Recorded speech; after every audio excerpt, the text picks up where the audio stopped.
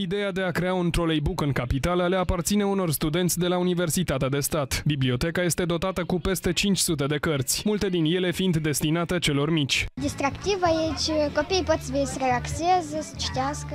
Deci v-a obișnuit cursul ăsta? Da, Ce suntem înconjurați de cărți și mai vesel așa, mai interesant. E minunat, mai ales acum în vacanță, copiii trebuie să nu uite de cărți. Că este vorba aceea că cartea nu are vacanță. Și dacă unii copii nu s-au putut rupe de cărți, alții au fost atrași mai mult de cabina șoferului. Ce faci aici tu? Nu știu. Cum nu știi? Dar la volan, și vrei să fii șofer? Vrei să conduci troleibucul? La deschiderea troleibucului, copiii au avut parte și de jocuri interactive.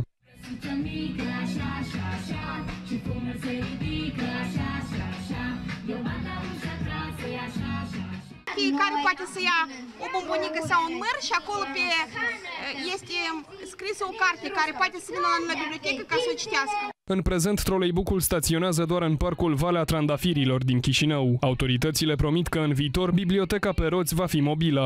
Să pornim și la alte proiecte, chiar cu un trolebus care merge, o să testăm să vedem care este interesul, să meargă, să se oprească, să ia copii, cineva din actori. Biblioteca din troleibuz va funcționa de marți până duminică, de la ora 11 și până la 18.